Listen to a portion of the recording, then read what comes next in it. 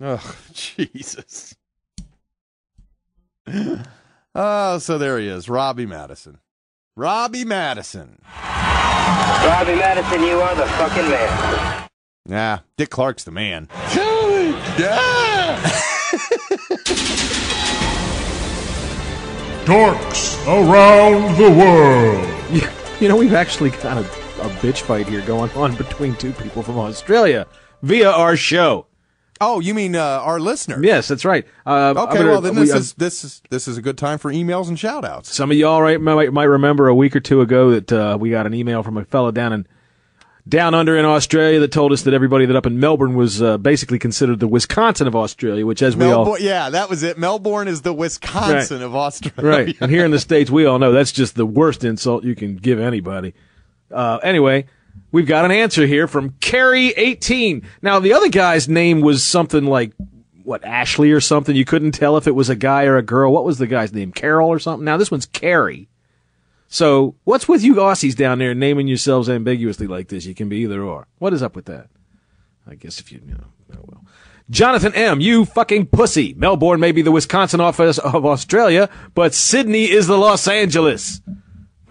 I guess. What the hell does that mean? Is a bunch of pussy Is that, down in is that an insult? I suppose. Well, you got to take it into account. This is the Wisconsin from Australia, so let me try that again. Hey, Jonathan M., you friggin' pussy, you. Melbourne made me the Wisconsin of Australia, but hey, Sydney's the LA. I've been to effing sporting events with more than 20,000 people in the past 10 years. How's about you? Uh, do you have any idea what he's talking about here, Tom? No. Me neither. No. Hey, I also go and see my team play when they're losing, unlike you bandwagon jumpers. So I'm guessing we're in the middle of some kind of a Australian rules football fight here. I guess Because so. I doubt either one of them are flying over to, you know, Cal- California to see their team play. The Americans may have elected Bush, but we elected this arsehole Howard four times. Now a political joke, Tom. Dude, we we are the arena of the world. Oh my. All right, so uh, stop thinking you're better than people from either Melbourne or the U.S. and go F yourself. This from Kerry 18 from the Wisconsin of Australia. Melbourne, eh?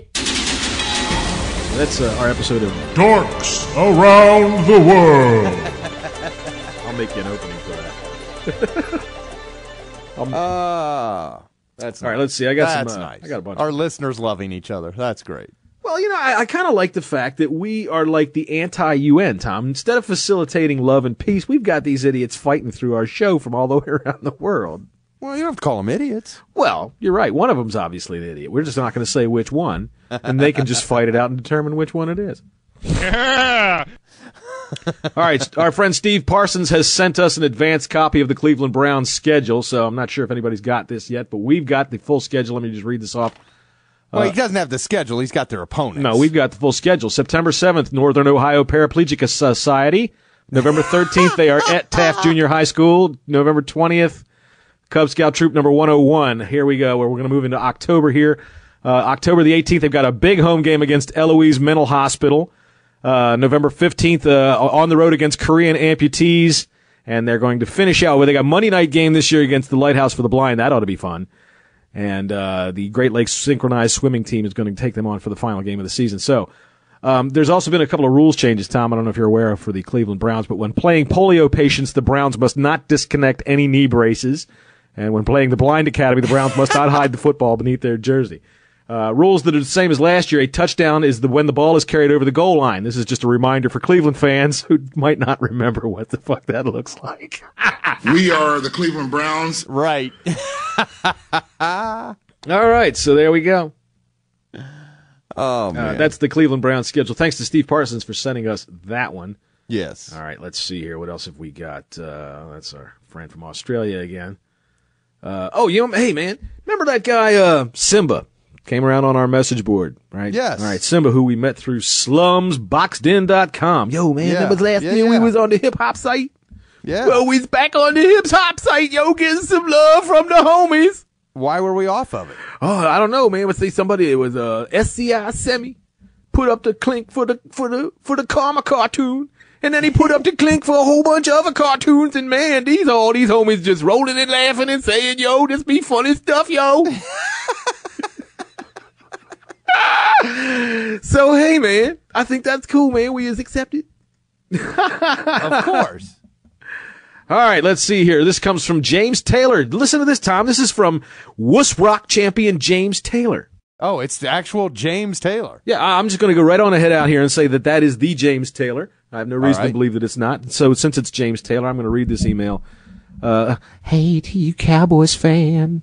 Sorry, I don't know your name. You're always the other guy, dude. Yeah. Just want to express my sympathy to you for how rotten you must be feeling right now. Oh, Not God. because of your team losing, but because Wade Phillips wasn't fired. Oh, come on, to boom. yeah, he's right about that. Wow. Getting nailed by uh, James Taylor. At least he was sensitive about it, Tom. How about them Cowboys? All right, this comes from LeBrandon. Yo, what's up, my nigga? I typed it so you could say it. Thank you. Thank you. I appreciate that. Don't get getting all excited. And if you are, then calm down. Don't get a big dick. Yo, man, I love your show. Tell that to the other guy, too. All right. the other guy.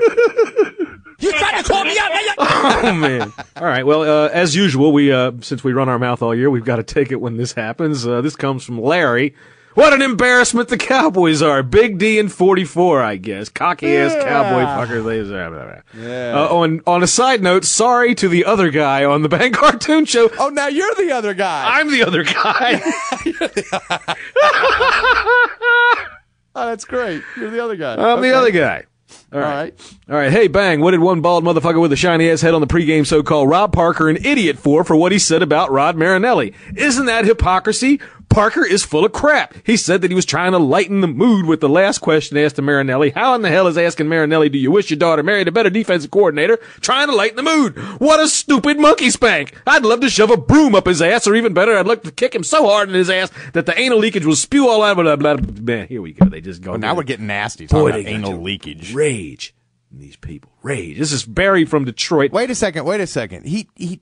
You did, you couldn't see him. He was smiling and he was joking when he asked him. That's why. Oh, this is Barry though. He's from Detroit, so you can't blame him for a little rage, Tom. He he probably Sure. got you know I don't blame him at all. carjacked on the way over to work before you know he could even get out of it.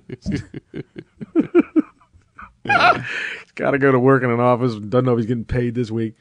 Jerome Bettis is his boss. You know. All right, this comes from Paul, our friend over in England. Oh, this is an update about his Olympic hopeful son. Oh. Yeah, it was never the plan to get my son into the uh, Great Britain team for the Beijing Olympics since he's still only 15. Well, damn, it might have been a fucking help to tell us that back a couple of years ago, now wasn't it? It's okay, so I guess we'll be looking for him next time. in uh 012, 012. Yeah, 012. 012? Is there such a thing? I guess. right. 2012. All right, from mascot hopeful Hot Wheels. uh, I don't want to be the show mascot because I'm fucking awesome. My emails bring the show from great to fucking awesome tits. There it is. That's his phrase. See, so right now we're talking about him. Now, Tom, the show is awesome fucking tits. We're on the awesome fucking tits scale, whatever the hell that means. Awesome tits. Yeah. there he is. That's our boy. That's got to be our Hot Wheel right there. Uh, Dick, I think Dick Clark should be the new show mascot. Sure, man. We just wow, we should just assign it to Hot Wheels. Can- Maybe we can get Dick Clark to do that with a Mexican accent. All right, so there's Hot Wheels, and I just wanted to do that real quick so that the show could go from awesome to awesome fucking tits. Does everybody feel that now? All right, from uh, our friend Cup on the Floor, Mark. Cup on the floor. Yeah, he, he's been our friend for years. As a born and bred Irish citizen, I give you full permission to use the Irish nation and Irish people as the butt of many jokes that you please. yeah, he's great, man. He's very cool. Yeah, he's a cool guy. I mean, considering he goes around, you know, bombing English people. Oh, stop. All right, well, uh, that's all the emails that we have today. We would like to hear from more of you. This is the brand new year. The playoffs are here. We'd like to hear what you have to say. Um, you know, if if you're a dork from, I want audio emails. yeah, yeah. If if you want us to, an audio email. yeah, if you go onto the website there, we've got a, a little thing hooked up there for show mascots. But if you just want to send us a little audio clip of yourself, you know, I think it'll accept up to a minute or a two minute MP3 or something like that. There's an upload bar right there. Use it. Send us whatever you have to say. Uh, if you're stupid and you don't, if you're not stupid and you don't suck, we might put you on the show. I think our two Australian friends should send us their imitations of Dick Clark and Stephen A. Smith. How would that be? I think they should sit together in a room like Stephen A. Smith and Skip Bayless and have an argument. No. Yeah. now, mate. okay, now. What we got to say. Fight the power Come on! Straight out of Skunk Patch Holler, North Carolina. It's time for Deep in the Huddle with Tar Heel. We must get to our newest star on the show to wrap this up, and that, of course, is Tar Heel. Tar Heel, our friend, is sick. yes, he's got tonsillitis. Is that what it is? Listening to him explain this, and then, of course, he's got to get into something that has nothing to do with that. But he talks about having it, talks about getting shot at the doctor and everything, and, well, this is how it goes.